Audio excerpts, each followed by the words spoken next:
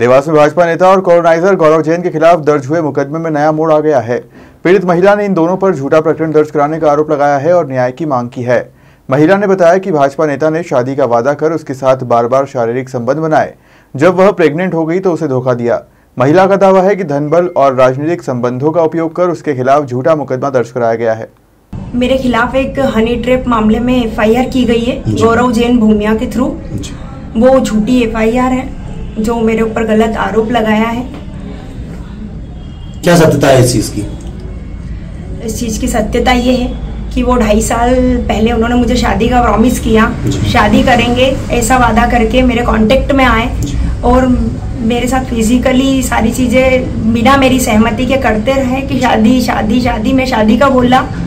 तो करते नहीं थे और दो बार मतलब मेरा मैं प्रेग्नेंट पहले भी हुई तो मुझे गोलियाँ खिला दी कि ये गोली खा ले फिर मैं शादी कर लूँगा। फिर दूसरी बार भी ऐसा किया और अभी भी मैं प्रेग्नेंट हूँ उनका बेबी है। और कितने मंथ के प्रेग्नेंट कितने मंथ एक मंथ से ऊपर है एक डेढ़ मंथ कुछ। क्या आपको क्या लगता है क्या गलत हुआ आपके साथ? मेरे साथ ये गलत हुआ कि मुझे धोखे में रख के कि शादी करूँगा शादी करूँगा करके मेरा शोषण करते रहे। और अभी लास्ट में भी मुझे ये बोला है कि मैं फैमिली में मम्मी से मामा से जाजी आए हुए हैं। मैं शादी की बात कर रहा हूँ। तीन चार दिन में मंगलवार के दिन हम शादी करेंगे। मंगलवार का टाइम लिया इन्होंने कि मंगलवार के दिन शादी करेंगे। मम्मी से बात हो गई है मामा से बात हो गई है। और मुझे घर भी बुलाया। घर बुलाकर भी कि मम्मी से तेरी बात करा दूँ। पर इन लोगों ने मुझे वहाँ भी डराया कि ये बच्चा गिरा दे फिर शादी कराएँगे। अबोशन के लिए फोर्स करा। मैंने मना करके मैं आ गई उसके बाद ने- अगले दिन मतलब जिस दिन ये रिप्लाई देने वाले थे शादी का उस दिन मेरे खिलाफ इन्होंने एफआईआर कर दी। झूठी एफआईआर है कोई मेरा कोई इनसे ऐसा लेना देना नहीं है। अच्छा आप कैसे संपर्क में आए थे इनसे? इनकी कॉलोनी नवरत्न हेरिटेज और रुद्राक्ष कॉलोनी का काम करती थी मैं प्लॉट बेचती थी इनके उसकी मार्केटिंग थी मेरे पास। जी, जी। बस इसी यही व्यापारिक संबंध था और मैं तो अकेले ही थी। तो इन्होंने मुझे शादी के लिए प्रपोज किया कि शादी करूँगा और पूरी लाइफ साथ दूँगा सारी चीज़ें। मतलब मेरी बच्ची की मेरी बेटी है उसकी भी रिस्पॉन्सिबिलिटी लेने का प्रॉमिस किया। जी।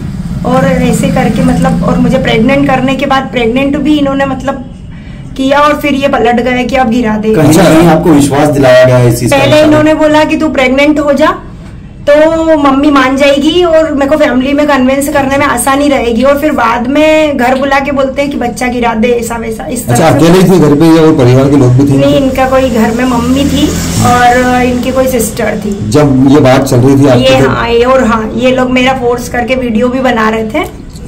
कहाँ मिले लगातार आप लोग? जो आप फ़िज़िकल हुए थे उस बीच कहाँ कहाँ मुलाकात अमर मोहिनी हमेशा अमर मोहिनी एक होटल है उज्जैन रोड पर वहाँ ये बुलाते थे। आखिरी बार कब मुलाकात हुई थी आपकी?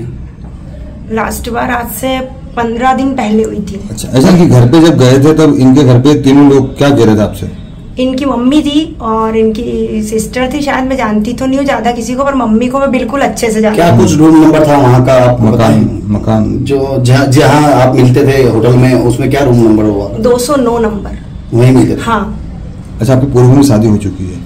उनसे क्या डिवोर्स हुआ है आपका? हाँ डाइवोर्स भी मेरा इन्होंने ही करवाया। क्या- क्या ये फोर्स करके कि तू उसको तलाक दे उसकी भी मेरे पास रिकॉर्डिंग मैसेजेस है कि ये मुझे फोर्स कर रहे हैं कि तू अब उसको तलाक दे तलाक दे तलाक दे। के क्योंकि हम तो पहले से ही बहुत साल से अलग ही थे पर इन्होंने तलाक इसीलिए करवाया कि ये मुझसे शादी करें। क्योंकि मतलब आपको- जो मानसिक प्रताड़ना आप झेल रहे हैं तो कैसे देखते हैं आप? क्या न्याय के बारे में मुझ पर जब से ये झूठी कार्रवाई की है मैं बहुत मानसिक रूप से परेशान हूँ।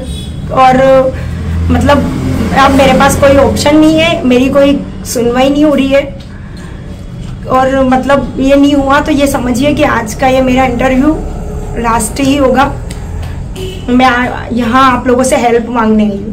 कहीं ना कहीं आपके जो पेट में बच्चा है वो किसका? ये गौरव जैन भूमिया का बच्चा उन्हीं का है। क्या मानते डीएनए टेस्ट भी अगर करवाना चाहे तो? हाँ बिल्कुल डीएनए टेस्ट आप कुछ अच्छे लोगों के समक्ष सामने ऐसा करवाएँ कि ये कोई भी छेड़खानी ना कर सके क्योंकि ये पैसों की पावर से बहुत सारी चीज़ें इसने झूठी एफआईआर पैसे खिला कर दी। मतलब कुछ भी सत्यता नहीं है किसी चीज़ में सारे झूठी चीज़ें पेश करके पैसों की ताकत पे इसने मेरे मेरे ऊपर इतना बड़ा झूठा केस लगाया है। तो ये मेरा मेरे बच्चे का डीएनए भी मतलब चेंज करवा दे ऐसा कुछ नहीं हो। इसलिए मैं अच्छे लोगों का कहीं सपोर्ट ना कहीं आपको इस पूरे प्रकरण में दबाव और डराया गया किसी के द्वारा? नहीं मुझे दबाव या कुछ? नहीं नहीं नहीं कोई दबाव नहीं है मुझे। मैं इस एफआईआर से इस झूठी एफआईआर से ही परेशान हूँ कि इतना अभी गलत आपने किन्हीं आरोप अधिकारी से चर्चा करी जाके? किसी से मिले कहीं आवेदन दिया? नहीं पर इसने सब चीज़ें मैंने जहाँ जिन्होंने मुझे जो मैम टीआई मैडम जो लोग उनसे मैंने बोला था पर उन्होंने मेरी कुछ भी नहीं सुनी और सीधे मुझे मतलब ले गए मतलब मेरी कोई भी नहीं सुनवाई करी थाने पे। अब क्या चाहते हैं? दरवाज़ा थाने आने वाले समय में क्या करेंगे आप? मैं इस मैं इस पे कायमी चाहती हूँ कि ये मतलब इसको मतलब इसके जो गलत इसने किया है मेरे साथ और झूठा इल्ज़ाम लगाया है इसको इसकी सजा मिले। आप कितने साल तक आपने इनके रिलेशन में? दो ढाई साल से रिलेशन में हूँ मैं इनसे। इनकी रुद्राक्ष कॉलोनी नवरत्न से संपर्क में आई थी मैं।